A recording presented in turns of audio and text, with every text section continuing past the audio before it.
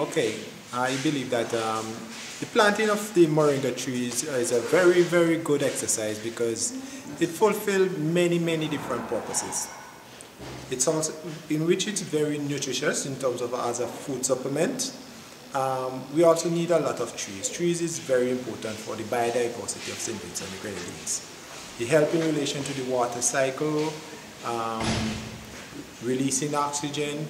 It also uh, will be a host for many other species in terms of pollination and everything like that.